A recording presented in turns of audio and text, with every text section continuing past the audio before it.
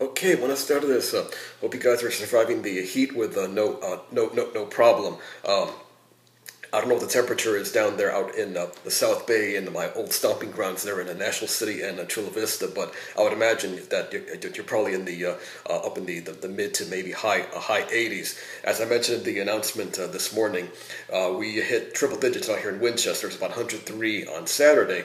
I think it dropped down to about 100, 101 yesterday, and right now it's about it's it's in the in the high, high 80s, probably about 87, 88, probably get up to about 90, uh, 95, 96, which uh, uh, um, uh, would have been awful. Uh, would, have been awful uh, for uh, for me still living back in uh, back in the South Bay. But after the the crazy heat we had here over over the weekend, 95 and 96 actually sounds pretty in, in inviting.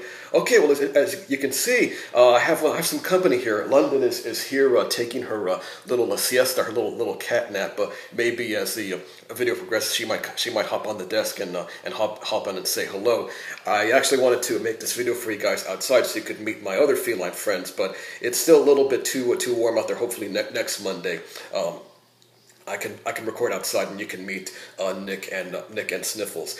Even though they're, they're out, outdoor outdoor kitties, uh, we uh, there is some uh, shelter for them, so they're they're uh, fully protected for, from the heat. Same for the uh, same for the cocker spaniel as uh, uh, as as well. All right, well this uh, this week we're, we're on to uh, a number of, of, key topics as we keep pressing further and further into the the Europeans. Among the topics is we were looking at the the Habsburg and the Bourbon kings. These were the Spanish kings of the uh, 17th and into the 18th century. This is a period, of course, where the Spanish settlement and colonization process really starts to get into uh, into full gear overdrive with respect to the development of institutions, bureaucracy, uh, uh, bank banking systems, administrative affairs, judicial, military things of, of that nature. So I've got a PowerPoint program on, on that, which I'll say a little bit more about in just a couple of minutes here.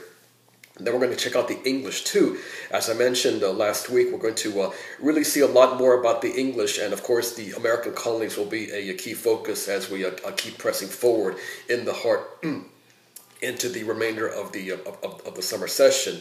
Uh, the folk, uh, one key focus this week will be what's happening in the American Southwest. So our, our current regions, uh, California, and of course on into uh, Arizona, New Mexico, and Texas. That'll be a focus uh, this this week as well. I'll tell you a little bit more about those readings and religious issues. That'll be another key consideration we'll be looking at in this week's uh, topic. So without further ado, let me go and get into all of the readings, tell you what you need, need to do, and the and the proper order that you should be go ahead you should go ahead and explore for the rest uh, for the rest of, of, the week.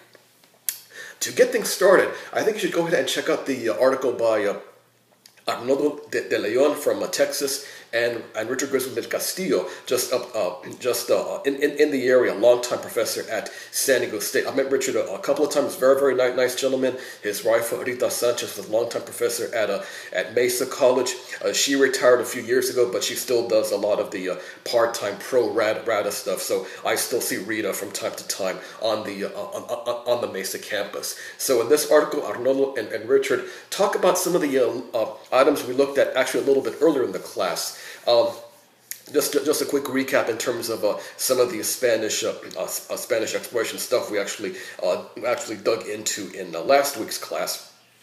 But I think the key focus from the article is about the uh, about the frontier institutions, uh, the frontier institutions section, in which uh, in which both of them explore the kinds of institutions and enterprises and ideas that were brought into the early Spanish colonial uh, experience. We're talking about things such as the uh, such as uh, town councils. These are the cabildos, also missions, presidios. Of course, in San Diego we have the we have the the, famous mission and the uh, and the Presidio. So definitely, if you're uh, if you need something to do during during the summer, uh, definitely check those places out. Uh, you might say that's the uh, birthplace of birth, birthplace of California and Griswold uh, Del Castillo and De Leon get into a lot more about what those institutions mean for not just California, but for the entire Spanish colonial experience. And then they talk about other uh, things such as uh, the role of women, cultural institutions, literature, uh, songs, folklore, dances, things of this nature. So a really good panorama in terms of uh, some of the things that the uh, uh, that the pobladores or the the populations in the in these Spanish settlements were engaging in in places like California, Texas, and New Mexico.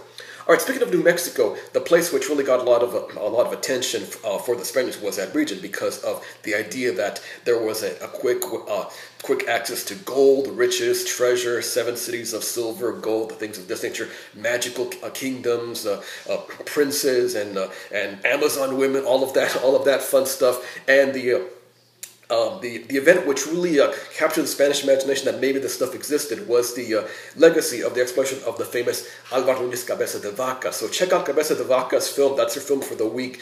And uh, and our friend Michael Wood, this is the third and final time we're going to be seeing uh, Professor Wood in the in the class. He t- he charts uh, Cabeza de Vaca's epic journey, and, and, and, and, he demonstrates where, for all intents and purposes, he was the first uh, European uh, anthropologist uh, Whereas, like his contemporaries, he might have had uh, prejudged views about natives uh, that they were savages, they were beasts, they were this, they were that, they were heathens, uh, they were pagans. Uh, but as he came across more and more of the people in Texas and into, no, into northern Mexico, Wood, Wood points out that his views uh, tend to change over his eight-year odyssey. So a really fascinating documentary uh, from our friend Mike, Michael Wood. So check that out after you read the uh, De Leon Griswold del Castillo article. After you check out the the Cabeza de Vaca film.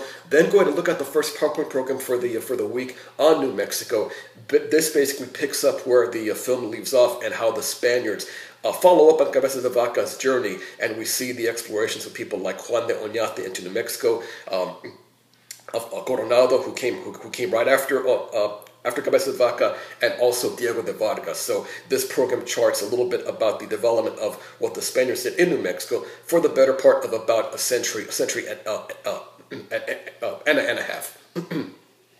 I'll finish off with New Mexico with the uh, readings from Between the Conquest.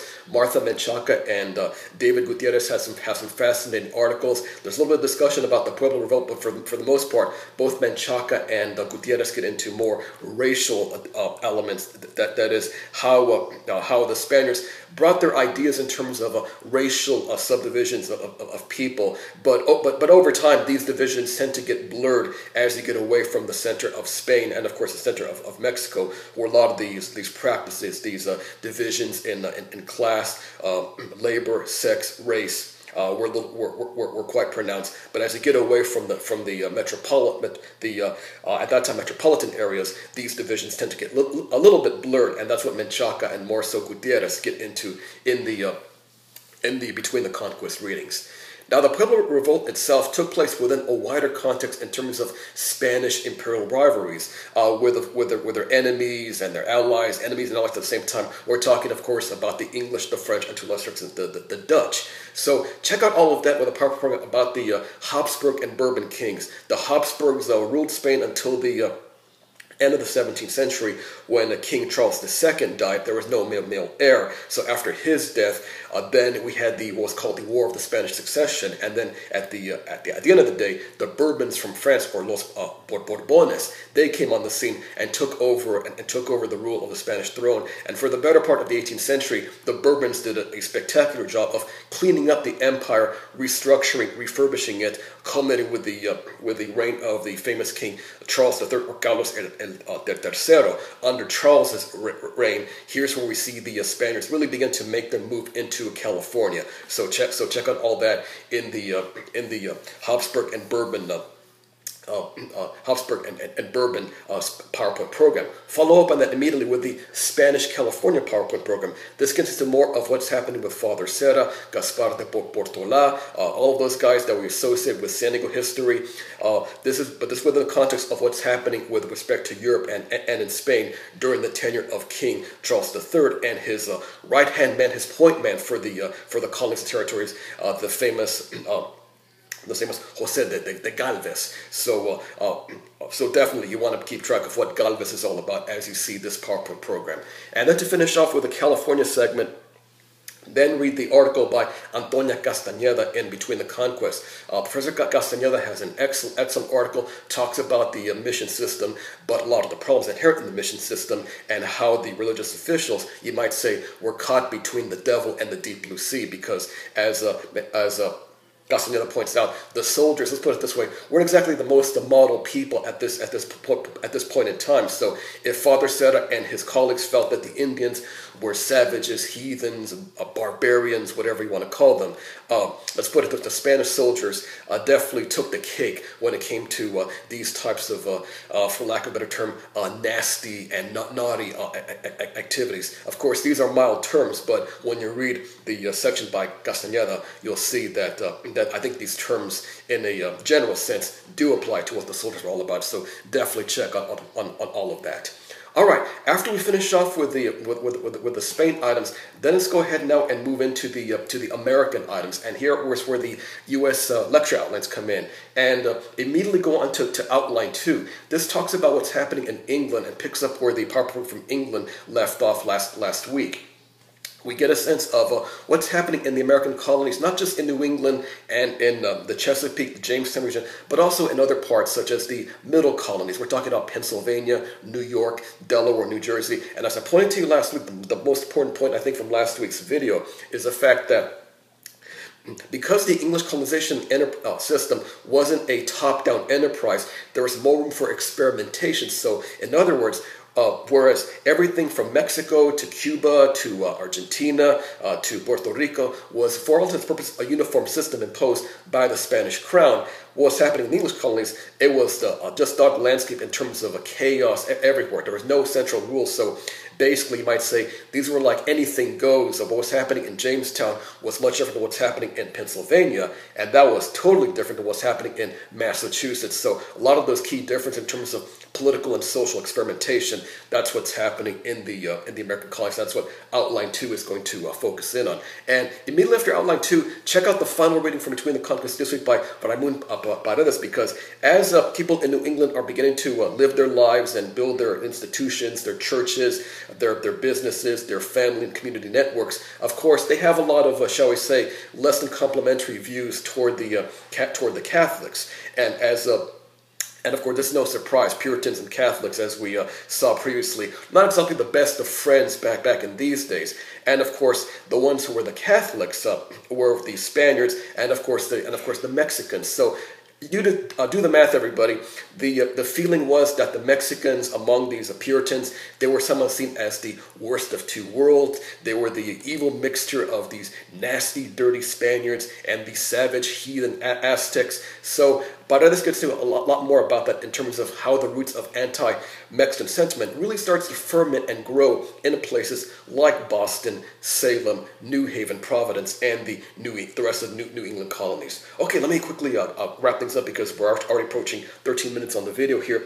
Uh, go ahead and, and, and, and, proceed with outline three, in which uh, uh, we get into a little bit more about economic development in the American colonies and, of course, the rise of slavery. Outline four gets into how uh, the English colonists begin to to establish their own way, modes of thinking, and begin to question authority. And this culminates with the double whammy of the Great Awakening, which is religious revival, and the Enlightenment, which is more scientific awakening, scientific exploration. So even though these two things don't really seem to clash, you might say scientific inquiry versus religious fundamentalism, what they do, uh, both uh, strands do illustrate, is the fact that the colonists, the English colonists, are beginning to have their own ways of life, their own ways of thinking, and uh, finish off the week, the week's uh, material with the Great Awakening PowerPoint program, in which we see that by the time we get into the uh, early parts of the 18th century, about the 1730s, 1740s, the American colonists are starting to get closer to the idea that maybe there's something better out there than being part of the English crown.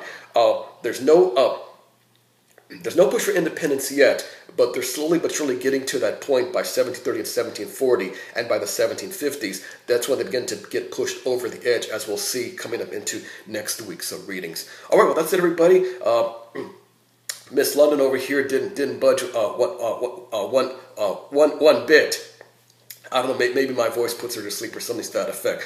But next week I'll try to record outside and uh, we'll try to meet uh, my the outdoor felines. That would be a Nick the albino and Sniffles the, the black Persian. All right, everyone, so that's the plan for the week. Uh, uh have a great week and definitely uh, enjoy the 4th of, of J- July holiday.